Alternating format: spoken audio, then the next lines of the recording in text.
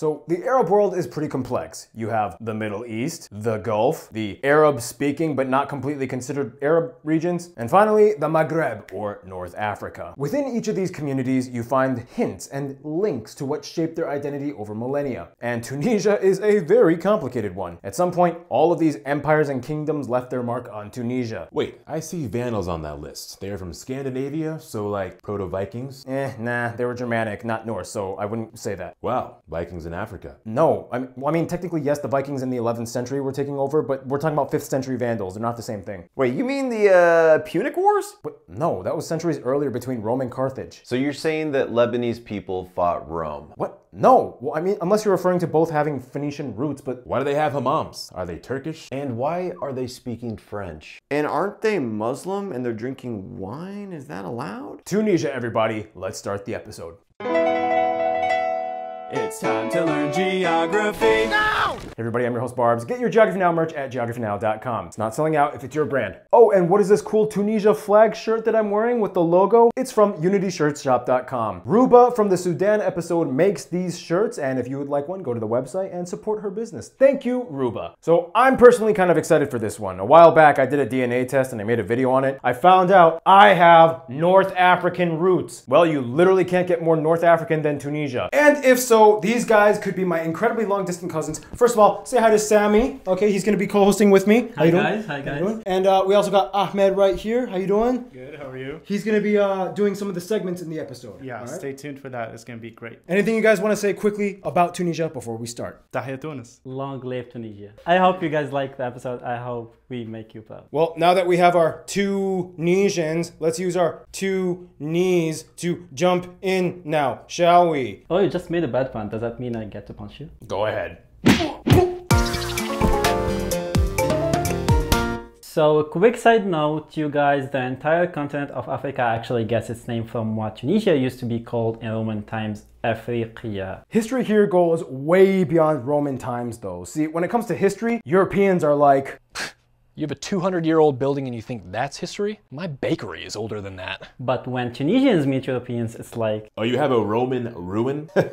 Try Carthaginian or Phoenician. lots of landmarks in history here. Let's go to the map first, shall, shall we? we? First of all, Tunisia is located in North Africa, or the Maghreb region, which includes all the nations of Africa that straddle the Mediterranean. In fact, Tunisia is the northernmost point of the entire African continent. Cape Angela, or Ras Ben Saka, which is this entire jagged cliffy area right here. Now here's the interesting thing. The monument for the northernmost point is on this small westernmost peninsula. However, if you geolocate the coordinates, the unnamed middle peninsula just to the east of it is actually just a few meters further north. So, not trying to piss off any Tunisian cartographers, but I'm just saying. In any case, Tunisia also has the northernmost island point in Africa as well, the Galite Islands or Ile des Chiens or Dog Islands, about 12 miles or 19 kilometers further north in the Mediterranean. Speaking of islands, Tunisia has quite a few off their coasts, including the largest island in all of North Africa, Jerba, which is connected to the mainland by this cool 4 mile or 6.5 kilometer causeway bridge. The country is made up of 24 governorates, each one named after their capital city, whereas the capital of the country and largest city is the aptly named Tunis, which also holds the largest and busiest airport, Tunis Carthage International. It also holds the biggest and busiest shipping port of the country, the port of Tunis, and is famous for its elongated goulet or gullet, which creates Lake Tunis with Fort Santiago of Chicli, an ancient Roman citadel site that is only accessible by this incredibly long and narrow jetty, but unfortunately closed off to the public. The crazy thing is, just north of this point is the Punic port of Carthage, where the ancient ships would dock and is now repurposed as a landmark and museum site. From there, the second and third largest cities are Sfax, just a bit further south, and Sousse, in between Sfax and Tunis. Interestingly, though, the second and third busiest airports are actually Enfida Hammamet International, close to Sousse, and due to the high tourism demand, Jerba Zarzis International ranks in number three. Getting around is mostly easy for the top half of the country. They have rail lines that extend all the way inland to Tozeur and along the coast to Gab. From there, the road network becomes more sparse the further south you go, until there is only one road, the partially unpaved C211, that goes all the way down to the tri-point with Algeria and Libya. Okay, let's back up a few thousand years, shall we? Remember the Tonga episode we did two episodes ago? We talked about thalassocracies or maritime empires. Well, Tunisia was essentially the hub of one of the oldest renowned thalassocracies in the world, the Carthaginian Empire. It was a North African empire ruled by Punic people, but what are Punic people? They were Semitic of Phoenician origin, meaning that they came from the Levant, and they colonized the coast of North Africa. So does that mean Tunisian people are Phoenicians? Eh, not quite, because later Carthage fell to Rome. Then are they Latin? Not quite, because then everything fell to Vandals, Ottomans, Arabs, and the French. So what are they? We'll explain later in the episode, but long story short, it's like Arab, but eh, Arab. The coolest thing is that in Tunisia you can see bits and pieces of all these historical eras meshed into their civil environment, including the Mosque of Qayrawan. It is the oldest Muslim and Arab base in the Maghreb, and it was the oldest mosque in the Maghreb as well. Some say it's like the fourth holiest site in Islam, but uh. But uh, yeah, it's a complete casserole of influences. And with that, to explain a little bit more on the top notable sites of Tunisia, here's Ahmed to explain. Ahmed, come on in. First, the Medina of Tunis, which is basically the old part of the city. There are over 700 monuments and buildings that date back to the 12th century. It has Zitouna, which is a mosque and a university, supposedly the oldest in the world. Nope. Mine is the oldest. Yeah, Morocco, maybe it was registered first, but ours was around before. Plus, it was founded by a Tunisian woman, uh, and it's literally called University of Qarawiyyin, which means people of Qayrawan. So, I mean, oh! we also have the Bardo Museum, Gibili Oasis, Jerba Synagogue. We also have ancient sites and ruins of Dougga and Carthage. In Zaghouan, we have Water Temple and Hanaya. Fun fact, after the destruction of Carthage, Romans tried to put salt on the land so nothing would grow, but now we make the best olive oil in the world.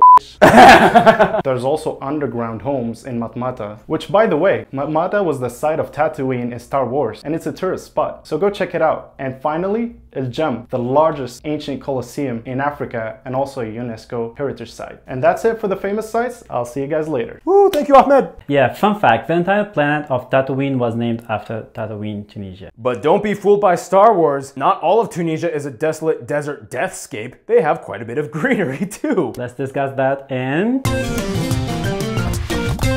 So you probably already know the deal. To summarize, most of North Africa kind of goes like this.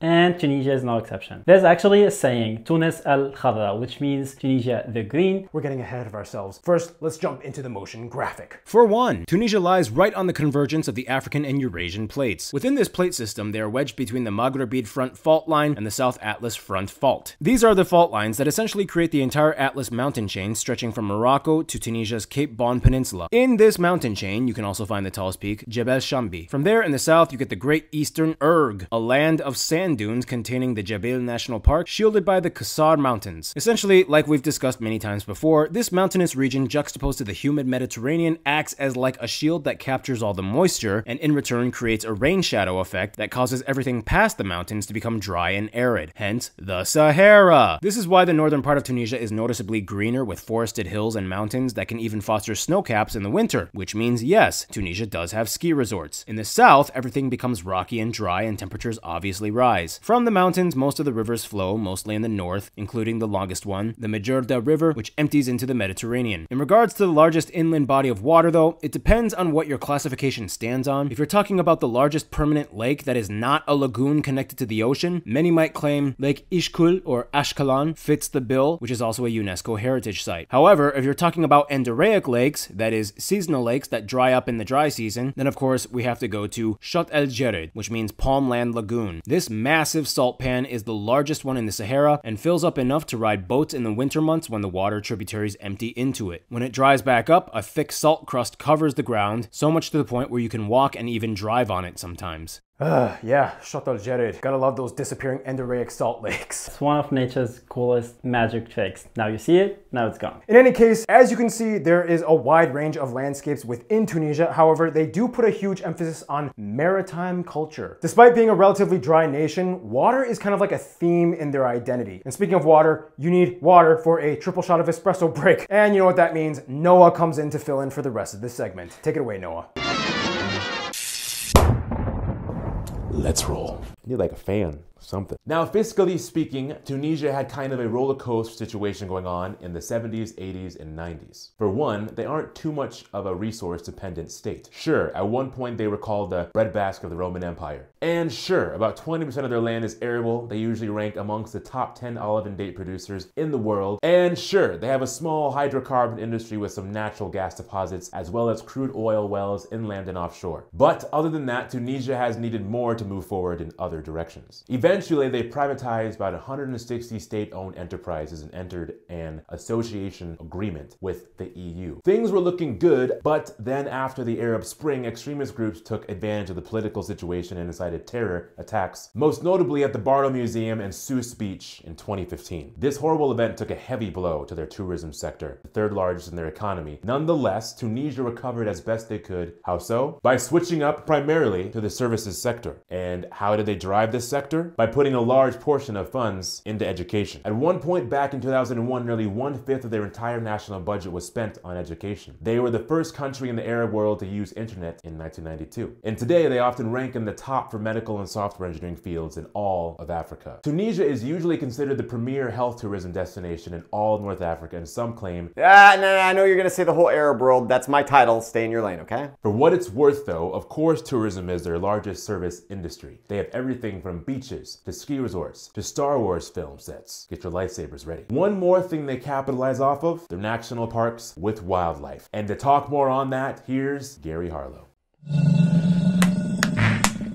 Let me crock your dial. So like most countries in North Africa, Tunisia has two separate types of flora and fauna. The green rocky mountain types and the dry arid terrain types. The country has 17 national parks for wildlife conservation, the most famous one probably being Lake Ishkul or Ashkelon, a UNESCO heritage site famous for being a migratory bird hotspot. Every conceivable species of duck, goose and waterfowl can be found here, including flamingos, oyster catchers, ruffs and smew. You heard me, there's a bird called a smew. And that's how it sounds too, it just kind of smews at you, smew. Disapproving of you just like your great aunt. Smew. and just look at El National Park. Super green, totally underrated, and if you're lucky, you might spot some of the rarest ungulates, the Dama Gazelle. Not to be confused with the Drama Gazelle, which is my cousin Bert. He got a lot of issues, man. It is said that you can find over 370 species of bird here, including the national bird, the cream-coloured courser. Otherwise, head south to the Sahara and you'll find the largest national park, Jabil. You've got fennec foxes, jackals, hyenas, cobras and horned vipers, and Barbary sheep, which are all endemic, and if you're lucky, you might spot the super rare addax. Finally, also known in the southern area, are horses. The local Berber community has quite an equestrian-based culture that involves Ferrosia events and shows. And speaking of horses, it's time for you to meet her. Giddy up on out of here. Cheerio, mates. Thank you, Gary. And to add to the animals, Tunisians love seafood. They definitely like the fish off those coasts. You know what's coming up. We're going to discuss the food of Tunisia. And with that, let's go back to Sammy and Ahmed. First off, we love carbs. It is said that we are the second largest consumer per capita on pasta after Italy. Some will claim Tunisia is probably has the spiciest cuisine in the Arab world, which is true. And this is the proof. It's the best harissa in the world. In any case, some of our top dishes might include things like Brik, which is a pastry with egg and tuna. Fricassee, which is savory donut, mlewi, of course. Oh, the best. My favorite, my personal favorite. And there's also Assida Zgougou, which is I love it. Ahmed's favorite. And finally, the trifecta of Tunisian cuisine, specifically for weddings and special occasions, the tagine couscous, the slada mshouya. Yeah, Tunisian tagine is basically quiche. And our version of couscous usually contains seafood like sea bream or squid. So that's it for our food. You guys should try it. Thank you. Also, little side note, Tunisia has a noticeable wine growing region and they do brew beer. It's actually an old tradition that dates back to the Carthaginian times. Well, that's all I got for you. Until next time, stay tuned and stay ready. Thank you, Noah. By the way, Sammy, what's your favorite Tunisian dish? Fricassé, kafteji, leblebi. Mwah. That's pretty interesting. You guys can your harissa? Mm-hmm. Yeah, it's the best in the world. Try it. I think it's actually expired. Well, so far you've probably picked up the variables that make up Tunisia as a state and as a landmass. Only one ingredient left to this recipe, the people. Tunisians. So, Sami Ahmed, what is a Tunisian person? Ooh, that's a tough one. A Tunisian has a deep knowledge of uh, like about the Arabs and Africans, Europeans, and even Americans, but none of them understand his culture. Uh, we're kind of Arabs, but not quite, because we are so diverse and mixed, and we keep our traditions from a long time ago. So, We could be aliens, as far as I know. we're out of this world. so uh, Tunisians are just kind of Tunisians. It's like that's the best way to describe you guys. We're just people. Surprise. Well, if we must break the nation down demographically, here's how we do it. Tunisia has a population of about 12 million people and was recognized as one of the freest and open countries in the Arab world. The country claims to be about 98% Arab, or sometimes Arab Berber, depending on who you talk to. Genealogy records and DNA tests have revealed that it is speculated that within the group of Arabs, about 60% are said to have some degree of native North African Berber or Amazigh ancestry within their heritage. The Arab title, though, is complicated because it doesn't pertain to any specific ethnic group, but rather just people that speak Arabic and have an Arab identity, whatever that may be. From there, about 1% claim to actually be Berber or Amazigh, and the remaining 1% are other groups, mostly European. So we use the Tunisian dinar as our currency and we use the type C and E plug outlets and we drive on the right side of the road. So let's talk about language. Most Tunisians are at least bilingual with the official language Arabic, as well as French, which is used from schools from elementary and up. Yeah, we study French from second grade and English from third grade. In high school, all subjects are on, in French. So in high school, everything is in French. Yes, Do you speak any Arabic in high school? just the one Arabic subject. Just Arabic and subject a few others like the religion. Oh, like religion. that. Yeah, Yeah, philosophy. philosophy. Nonetheless, with Arabic, Tunisians actually have their own distinct Tunisian dialect. It's often described as like sing-songy, difficult to understand. The dialect is actually pretty close to the Maltese language. To explain more, uh, Ahmed, come on in. Why don't you explain about the language? And uh, we'll add another geography with him. Okay, guys, so let's talk about our dialect. So, Tunisians sometimes use very old school Arabic words, and we also mix up French, Spanish, Italian, and For example, Barsha is an OG Arabic word, and it basically just means a lot. So, our word sounds sexier, and I like that.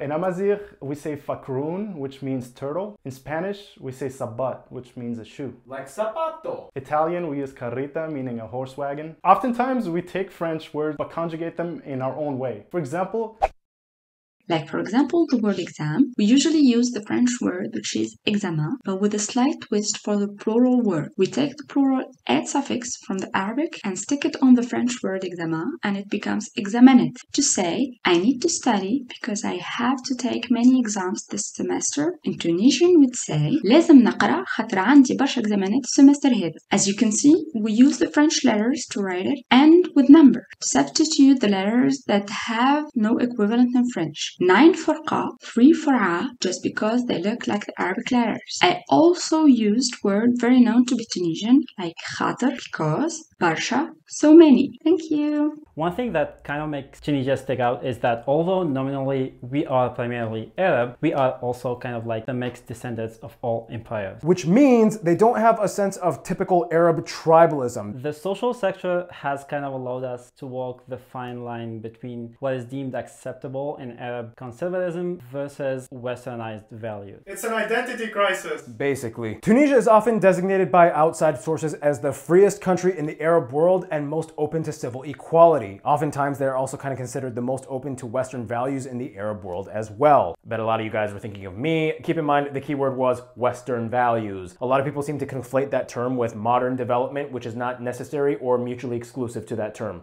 Just keep that in mind. This is why Tunisia has been a pioneer for many other moments in the Arab world. Having the oldest constitution in the Arab world, we were the first to abolish slavery. They were also the first nation in the Arab world that allowed women to file for divorce and receive inheritance, pass on nationality to children, as well as even marrying outside of the Muslim faith. Legally, women are allowed to wear almost anything from hijabs to bikinis. However, recently, after extremist attacks, they put a ban on full face and body veils. Today, women also make up about 30% of their parliament. So yeah, there's a lot of female stuff happening in Tunisia. We're proud of it. We like it. Female stuff, yay. Although some of these rights were around long ago, many of them were spurred by the 2010 Tunisian or Jasmine Revolution, which ousted former President Ben Ali. This was the trigger moment that sparked the Arab Spring. You've probably heard of it. It basically went down like this. Ah! Revolution! Yeah, Yeah, unfortunately, Tunisia was also kind of the only country to have had relative success after their revolution. Every other country that took part in the Arab Spring, except for Bahrain, pretty much fell into civil war. Now, it hasn't been clear and smooth sailing for Tunisia either. Our economy took a hit, and we've had like five presidents in 10 years. So uh, they're kind of like still in the experiment stage, figuring things out, but overall, they mostly achieved the legislative objectives that they wanted. Yeah, we could go on on this topic, but we have to move on. Religion! Within the constitution, Islam is the state religion, and about 98% of the country identifies as Muslim, about 60% of that group claiming to be Sunni. The constitution does allow freedom of religion and respects cultures that have played a role in their history and cultural identity. You can find some churches mostly in Tunis, and there are about 2,000 Jews still living in Tunisia, about two thirds of which can be found on Jerba Island, which has Africa's oldest synagogue. And a lot of Jews take a pilgrimage over there, right? Yes. Like every year, it's like a thing they do. Well, one other thing Tunisians make pilgrimages to are stadiums whenever a sporting event occurs. To talk about that, here's Art with the sports part. Oh, hi. I didn't see you there. I guess it's time for the sports part with art. It's like the beginning of a cult video. Like, So when it comes to athletics, it pretty much goes without saying, Tunisians are the best swimmers in the Arab world. Thanks to their maritime culture and access to swimming facilities, Tunisians know how to get around the old splish splash, splishity sploo, whatever you want to call it. Today, they've racked up three gold medals and one bronze in swimming events at the Olympics, more than any other Arab nation. This guy, Oussama Mellouli, won two gold medals and has competed in every Olympics from Beijing to Tokyo. He's a big deal. And what goes better with water than a beach? And what can you find at a beach? Volleyball! Tunisia is today ranked number one in Africa with 11 African championships in men's volleyball. Also, this Tunisian woman right here is the number one ranked African and Arab female tennis player. She won her biggest title to date in the 2022 Madrid Open, a WTA 1000 event. This made her the first Tunisian and Arab player in the world to win at that level. Finally, you cannot talk sports in Tunisia without bringing up soccer or football. Everyone in Tunisia pretty much supports one of these four teams right here. Their national team, the Eagles of Carnage, Carnage, I said Carnage. they're just tearing up the place. Their national team, the Eagles of Carthage, has won the Africa Cup, the African Nations Championship, and the Arab Cup. They've qualified for FIFA six times, with their highest rank being ninth back in 1978 in Argentina. So that's uh, pretty much it, and I gotta go. So. ciao. Thank you, Thank Art. you. yeah, it's crazy. Like the theme of water keeps kind of popping up in Tunisia, and like every like we just learned, swimming is a huge part of your culture. Yes, Like, like it's big. oh Ahmed, what is this thing you are wearing? That's a Tunisian thing. What is? it? Explain, Sami. It's a shashia. It's our traditional hat. Oh, it looks good on you. Yeah, you'll find this in Tunisia every so often. It's mostly for special occasions. Well, to explain a little bit more on the culture and stuff like that, here is Random Hannah. I love this. Hi guys, I am back, your favorite host on Geography Now. So, Tunisia has a lot going on. First thing you need to know, the jasmine flower. It's the national flower and used in like so many ways. Often, a mashmoon or small bouquet of jasmine flowers will be worn by a man to symbolize that he is single and ready to mingle. At special events, people might wear the traditional clothing. Tunisians are all about fashion. Jellabas and dengris are popular unisex garments, but for women, there are way more options because every major region has their own traditional dress. Architecture is very distinct. Many homes and buildings will have the traditional bob door, which usually has a rounded arch top, vivid colors, and adorned with symmetrical metal bolt patterns or arabesque carvings. You will also notice many of the shutters are painted blue. This is done for both beauty and to ward off evil spirits. In fact, the visual arts have always been Tunisia's strong point. They are world renowned for their carpets, handicrafts, and pottery. In fact, in the town of Sejnane, there is a rare 3,000 year old terracotta sculpting technique of pottery still practiced by the women in the village. And speaking of art, film, that's my specialty. And Tunisia has a lot going on. Tunisians love cinema so much they even have their annual Carthage Film Festival. This is the oldest of its kind in Africa, started in 1966. It's designed to promote and uplift African film, as well as Arab films. Many Tunisian movies were nominated for Oscars and took part in the Cannes Film Festival. I actually just went there and I'm gonna make a little video on it, so subscribe to my YouTube channel. During Ramadan every year, the people watch these TV shows. These are their classic. Movies like these have made waves across the Arab world. The Silences of the Palace was a highly acclaimed film set in the 1950s. It addressed issues that women faced during the time. And Dachra, Tunisia's first horror movie. So many good movies stuff. Speaking of festivals, the largest one that takes place in the country is the world-renowned International Festival of Carthage. It takes place in the actual Roman amphitheater. This is basically Tunisia's Super Bowl. And that's just one festival. They have so many others. And of course, you can't have a festival without music, which, ugh, Keith. Ah, yeah, guys, sorry. Keith is busy with his job in Florida. Uh, we need to have a substitute. Uh, who else here knows music? Oh, Gabs! Keith, we miss you, and we're gonna do this episode without you and your beautiful long hair. Woohoo! Tunisia! Let's talk about the tunes of Nisia. so like we explained already, Tunisian music is reflective of all the cultural influences they've been through. Andalusian, Turkish, Persian, Greek, French, and of course, Arab. Today they have even a national artistic institution that specializes in teaching and preserving Tunisian music. Go there! And if you ask any Tunisian person what is distinctively Tunisian music, well for one, Tunisians tend to add the violin a lot more to their music and typically they will mix it with their traditional instruments and song. As for genres, most of them will probably focus on two things. Malouf, which is the traditional classic music which is usually played at weddings. This has a South Spanish influence to it. Many Muslims from Spain migrated to North Africa in the 15th century and brought it with them. This style usually mixes fast string plucking on the oud guitar with violins, drums, and slow passionate vocals. What's the fastest you can pluck, Gabs? I can do this thing that's like kind of Spanishy where it's like no, I can't. No, okay. Keith, I can't take your place, man. The second style would probably be being mizwad. The style is named after the instrument, the mizwad, or Tunisian bagpipe. Yes, they have bagpipes here. It has a single reed and is made of goat leather. Mizwad music is faster, more upbeat, and is usually accompanied by the traditional darbuka drum. Mizwad even has its own style of dance and is said to make people enter into a trance-like state when they're listening to it. Who doesn't love falling into trances? You like falling in trances? I sure as hell do not. What are we implying here? Mizwad is such a popular style of music that it even made its way into contemporary Tunisian pop and rap music. Otherwise, here are some of the top musicians and music artists you guys, the Tunisian geograpeeps, also suggested we mention in the video. So much to say about them, but we don't have time. If you are Tunisian and want to add to this list or tell us something cool about the artist, let us know. Write it in the comments. Or not. Hate us. Love us. We'll still be here. And finally, metal has creeped its way into Tunisia and has seen a steadily growing community. Gotta say, Keith, I checked out this band. Definitely don't know how to pronounce it. They have a really cool folk metal style that mixes traditional Tunisian instruments with violins and, of course, metal guitars. Pretty awesome. Uh oh. I gotta go. See you guys. Professionally play the drum, do you? Every Tunisian knows these It's on our beats. blood. yeah. Well, we covered a lot. So much of Tunisia is built off of history and outside influences. But how do outsiders today see Tunisia and influence them? Let's find out. Next segment. Let's go.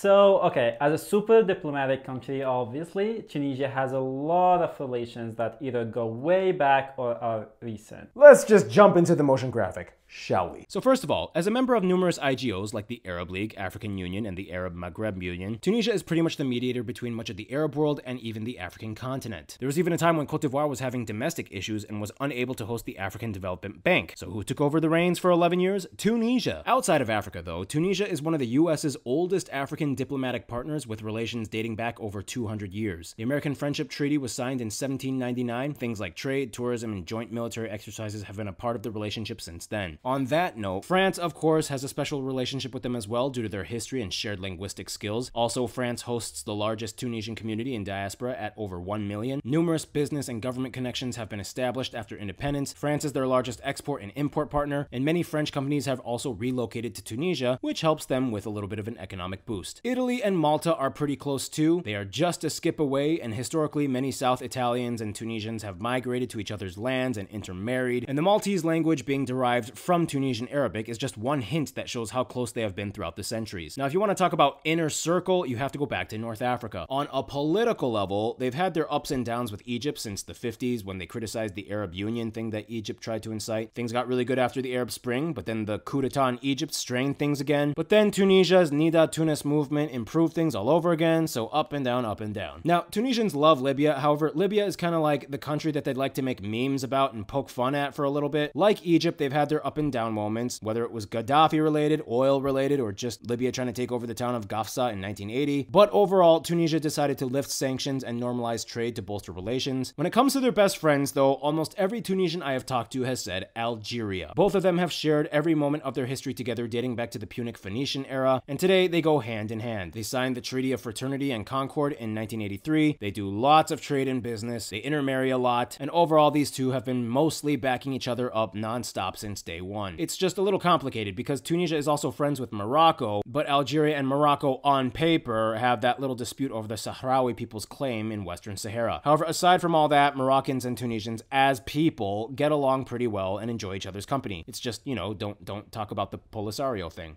All right, so in conclusion, you guys are the Tunisians. Ahmed, take my mic and speak from the heart. Go. How would you conclude this episode? Go. I'm looking for that word. In conclusion, we're a small country, but we have a lot to offer. True.